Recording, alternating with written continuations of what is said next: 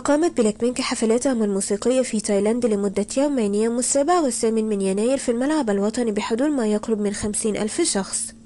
فوفقا لمدير تصوير حفل بلاك بينك صرح عبر منشور على الانستغرام أنه في اليوم الثاني من حفل تايلاند حضر خمسين ألف شخص وأظهر مدى ازدحام اليوم الثاني من الحفل. وأوضح أنه لم يختلف عدد حاضرين اليوم الأول عن عدد حاضرين اليوم الثاني كثيرا. وبذلك بلغ إجمالي عدد حاضرين حفل تايلاند حوالي مئة ألف شخص.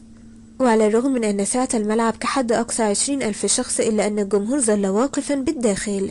وبالعودة إلى الوراء قدم مايكل جاكسون حفله الخاص في نفس الاستاد عام 93 بحضور 140 ألف شخص على مدار يومين.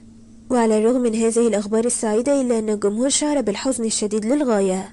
فعلى الرغم من وجود جاي في تايلاند إلا أنه لم يقدم تعاونه الخاص مع ليسا لأغنية Sexy Girl على المسرح فقد حضر الحفل لدعم ليسا.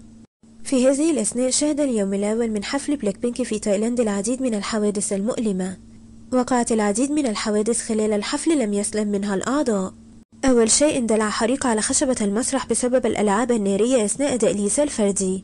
ولكن لحسن الحظ تمكن الموظفين من التعامل مع الموقف بسرعة. بالإضافة إلى أنه أثناء أداء أغنية لليسا كان هناك حفرة كبيرة في وسط المسرح خلف ليسا ما عرضها للسقوط في أي وقت.